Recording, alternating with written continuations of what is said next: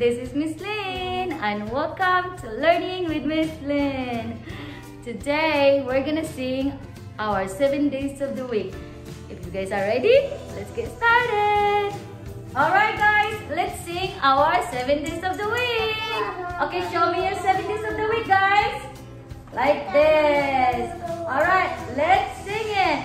There are seven days, there are seven days, there are seven days in.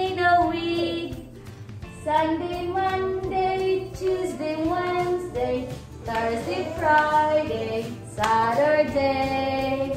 Yay! Good job everyone! Can we sing it one more time? Yeah? Okay, let's sing it one more time. Ready, get set, go! There are seven days, there are seven days, there are seven days in a week. Sunday, Monday, Thursday, Friday, Saturday. Yay!